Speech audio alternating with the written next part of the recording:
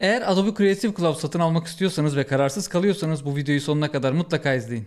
Bugün Adobe'den gelen mail ile birlikte öğrenciler için harika bir okula dönüş kampanyası başlattılar. Daha önceden Adobe'nin indirimleriyle ilgili bir video hazırlamıştım. Kur farkından dolayı zaten Adobe ürünleri Creative Cloud Türkiye'de çok ucuz. Ama bunun üstüne ekstra bir kampanya daha geldi. O da 19 Eylül'e kadar geçerli bir kampanya. Eğer Adobe satın almayı düşünüyorsanız ve kararsız kalıyorsanız bu fırsatı kaçırmamanızı öneririm. İlk olarak Adobe.com.tr'ye girdiğiniz zaman böyle bir ekran karşılayacak sizi. Burada bir kampanyadan zaten bahsediliyor. %40 zaten normal bireysel kullanıcıları için bir indirim var. Yani aylık 190 TL'ye satın alabiliyordunuz. Öğrenciler için de 120 TL'ye satın alabiliyordunuz. Adobe Creative Cloud tüm uygulamaları. Aynı zamanda 100 GB'da Creative Cloud'da alan veriyordu size ve çalışmalarınızı isterseniz oraya da kaydedebiliyordunuz. Bunun dışında asıl yapılan kampanyayı inceleyelim. Şimdi satın alın diyelim mesela. Karşımıza bu şekilde planlar çıkıyor. Buradan Creative Cloud tüm uygulamalar 190. Öğrenciler ve öğretmenler için olana baktığımız zaman da 127 TL görünüyor. Şimdi biz ana sayfaya yeniden gelelim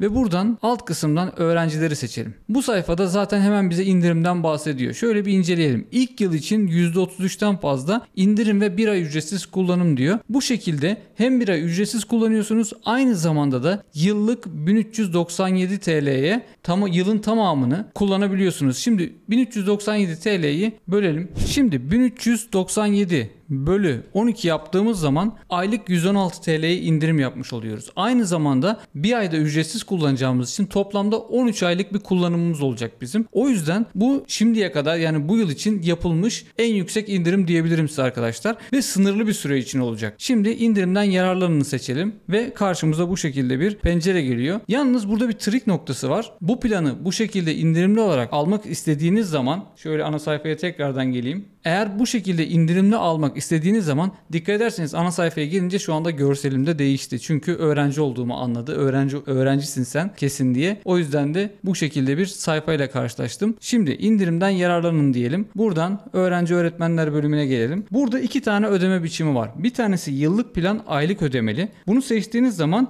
127'yi göreceksiniz. Ama Buradan yıllık plan ön ödemeli dediğiniz zaman toplam 1397'yi göreceksiniz. Yani bunu tek seferde öderseniz eğer siz 1 yıllık artı 1 ayla birlikte toplam 13 aylık bir Adobe Creative Cloud üyeliğini satın almış oluyorsunuz ve aylıkta 116 hatta daha da ucuza geliyor. Onu da hesaplayalım. Şöyle 1397 bölü 13 dediğimiz zaman aylık 107 TL'ye tüm Creative Cloud programlarını satın almış oluyorsunuz. Bence kaçırılmayacak fırsat. Eğer kararsız kalıyorsanız gerçekten bunu bir değerlendirin, düşünün derim. Ya diyebilirsiniz ki tek seferde ben şimdi 1397 çok pahalı gelebilir ama eğer bunu profesyonel, bu işi profesyonel olarak düşünüyorsanız ve yapıyorsanız gerçekten hiçbir şey. Belki bir tasarımda, iki tasarımda çıkarabileceğiniz bir para ve 13 aylık. Aynı zamanda Adobe Creative Cloud artık yapay zeka ile de entegre olduğu için Photoshop, Illustrator çok fazla gelişiyor. Bu alanda geri kalmamanızı öneririm. Çünkü yapay zeka ile birlikte e, sistem de değişiyor, program da değişiyor. Artık böyle CS6'lar falan yani bunları kullanmayı bırakın derim. Eğer sırf bu ödemeler yüzünden geri kalıp eski programları kullanırsanız bu sefer adapte olmakta zorluk çekersiniz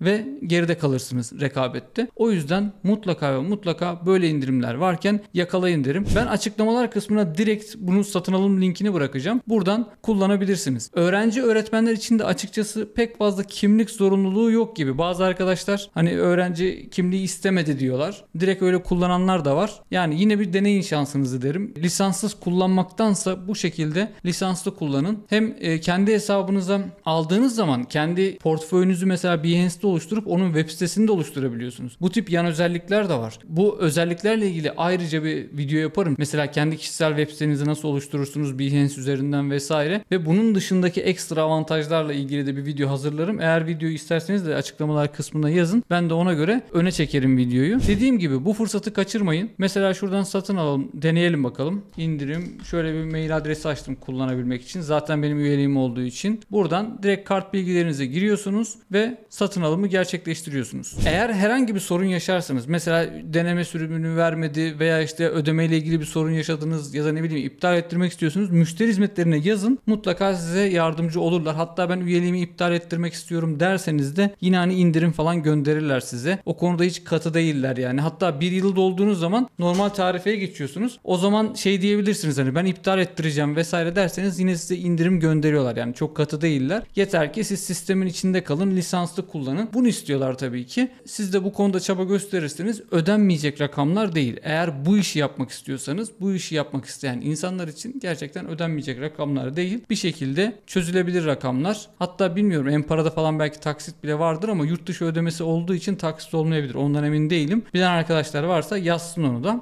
Bu arada indirim dışında da eğer kanalda görmek istediğiniz eğitimler varsa yorumlar kısmına yazın. Şimdi şu anda bir içerik planı yapıyorum. Onlarla ilgili de görüş ve önerilerinizi açığım. Açıklamalar kısmına belirtebilirsiniz. Pardon yorumlar kısmına belirtebilirsiniz. Ben de ona göre içerikleri hazırlarım. O zaman bir sonraki videoda görüşmek üzere. Hoşçakalın.